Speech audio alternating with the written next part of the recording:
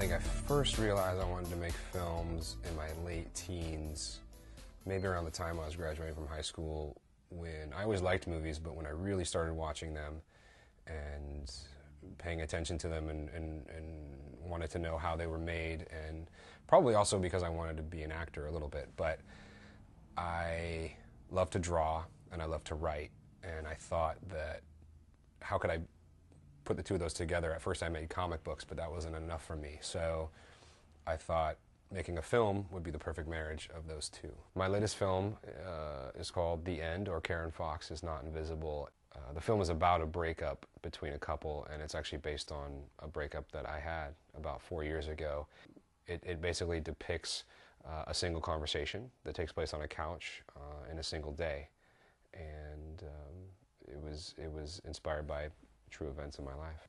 I like it when a film challenges my perceptions of my immediate world or, or the world that I see every day or that I read about or know about in some way.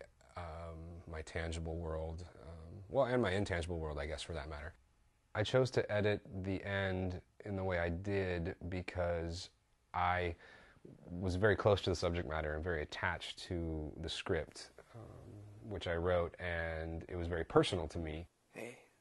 Hey and I wanted the film to be, you know, have a serious tone and and and and have a lot of substance, uh, both in the characters and in its visual style. What I did basically was the whole film is a conversation between two people on a couch, and they are breaking up with each other. It's a young couple, like in their late twenties. I'm sorry I ran. And you scared me the whole it, it's almost done in real time as far as we're, we're with them for the entire conversation on the couch and as they're talking to each other during this like very intimate very like revealing very sad and, and, and intense conversation we see suddenly at different moments parts of their lives together parts of parts of their history and their past and some some pivotal moments and some even mundane that that that comprise their their relationship and their love. But instead of regular flashbacks with with audio and, and, and putting you in time and place, the audio from the conversation on the couch never never stops. So we never leave that couch entirely, and there is actually no sound to any of the flashbacks at all. So this is not a technique that has not been done before. It has been done before, but I chose to do it literally throughout my entire film until the very end when the the man actually runs out of the apartment and, and the woman chases him. So that that was the technique that I chose to do, and I think that there is something impactful about that when you when you watch it happen.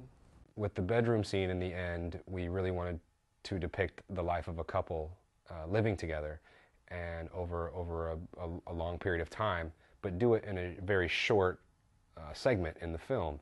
And so we decided to do it in um, time lapse or sped up motion, the, which we did all in camera. And we actually fabricated a sunrise and a sunset, and the whole scene is them going to bed, waking up, going to bed, waking up. And if you watch closely, there are different things happening each time they go to bed and each time they wake up that tell you a little bit about them. And even though each one is very specific, all of them are universal. So I think that the viewer can watch it and know that they've also been in that situation.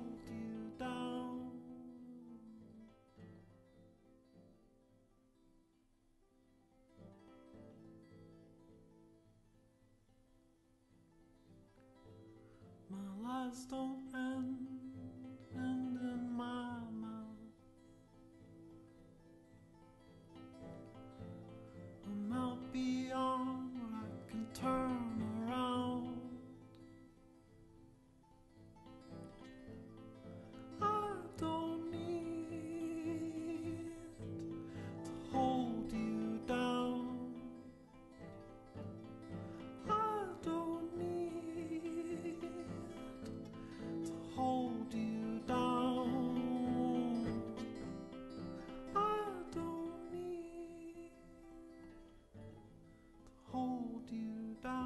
We all want some sort of validation.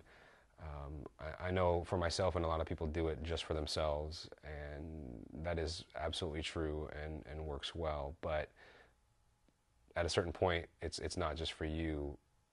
altogether or 100%. It's also to it's also for others to touch others. But for me, I think all I want is someone to find some value in it to create empathy, really, um, is, is all I want. They have the power to, you know, make you run the, the gamut of emotions, right? From happy to heartbreak to fear to you name it, lust, love, uh, you know, every emotion can be experienced through a film. So I love that. I love the fact that they are like moving pieces of art. Um, is really how I see them, and, and, a lot of people don't know that. I think don't look at films as art, but when you when you study them and, and read about them, you, you, find out that a lot of them really are. Oh,